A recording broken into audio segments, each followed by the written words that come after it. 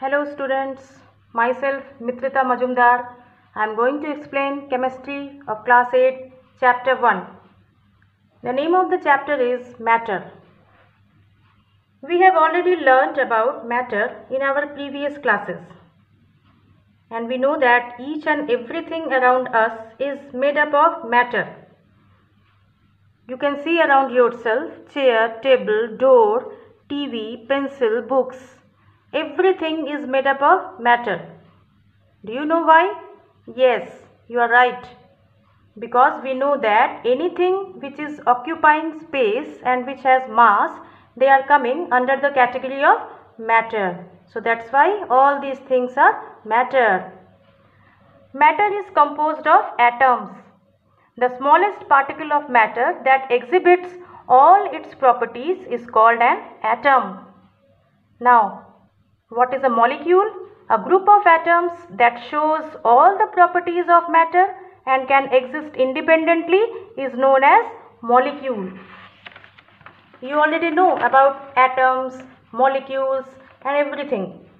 Now the most important part of this chapter is kinetic molecular theory of matter. We know that atoms and molecules in every matter are in continuous motion. They always move. For example, when a drop of ink is put in water, the molecules of ink move in the water and soon the water becomes colored. You can understand it with the second example. If you take one spoonful of salt or sugar and if you mix it in a glass of water, you will see that salt or sugar move in the water and get dissolved. So, because of this movement of the molecules, the molecules of ink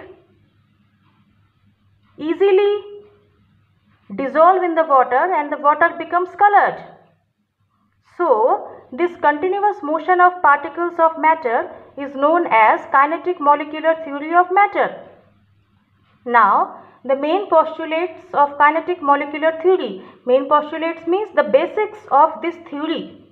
What are the basics of this theory? First point, all matter is composed of small particles either atoms or molecules. Next, molecules of a substance are alike means they are same in all respect means they are same in shape, size, composition and properties. Molecules are different in different substances. Next, molecules are in continuous and random motion. Just now I explained that molecules of any substance are always in continuous and random motion. Next, molecules of a substance have space and that is called intermolecular space. Molecules of a substance are attracted towards each other by a force of attraction known as intermolecular force of attraction. Now, this intermolecular force of attraction depends upon two factors. First one is intermolecular space and the second one is nature of the molecule. Now, according to this theory, it says that increase in intermolecular space between the molecules leads to decrease in the intermolecular force of attraction and vice versa.